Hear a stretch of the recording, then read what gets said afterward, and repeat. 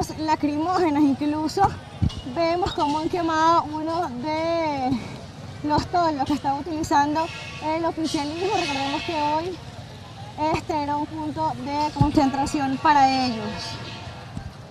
Las personas pues, huido debido a la dispersión por parte de los cuerpos de seguridad del Estado, específicamente de la Policía Nacional Bolivariana.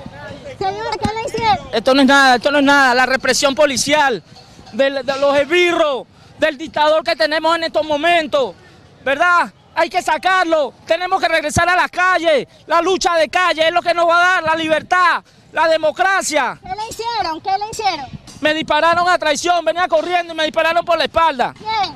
Los, los policías nacionales que están aquí en la parte de arriba, ¿Con qué le dispararon? con una escopeta. Bien, escuchaban ustedes parte de las personas. Vamos a ver pues el herido. Estas personas están heridas en este momento, ellos aseguran que es por parte de la Policía Nacional Bolivariana. Recibió dos disparos. Él asegura que eran disparos, sin embargo, pues parecían quizás perdigones. Lo que le habían impactado en su brazo izquierdo cuando pues estaba manifestando acá en la Plaza José Martí de Chacaito. Jessica, a esta hora, pues algunas personas que están acá continúan de alguna manera defendiéndose de estos funcionarios de seguridad con algunas piedras, han también reventado la tarima que estaba dispuesta para que los oficialistas, o que estuvo dispuesta para que los oficialistas se pronunciaran en la mañana de hoy. Continuamos viendo cómo hay gas lacrimógeno a nuestra izquierda, justamente en el centro comercial Chacaito y continúan pues por acá lanzando bombas lacrimógenas que estos manifestantes se devuelven a la Policía Nacional Bolivariana. Decía por el señor que estábamos entrevistando hace algunos minutos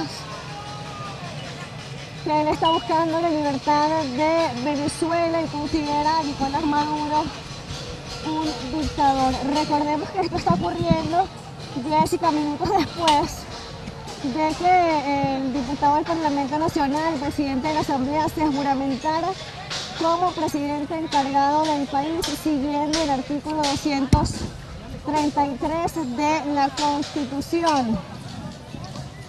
Posterior a ello, al de los venezolanos, cumplir el artículo 333 y 350, que es cumplir o velar porque esta constitución no pierda vigencia o no sea vulnerada. Posterior a ello está ocurriendo esta manifestación.